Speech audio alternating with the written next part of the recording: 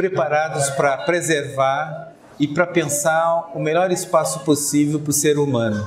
Nessa condição, me parece que é fundamental que se pense a preservação da Amazônia e que se pense a preservação de todos os ecossistemas em que o homem está inserido.